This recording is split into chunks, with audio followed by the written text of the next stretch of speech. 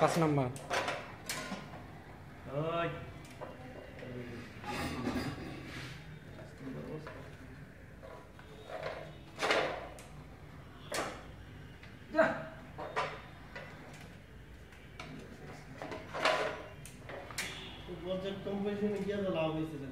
হ্যাঁ অনেক লাভ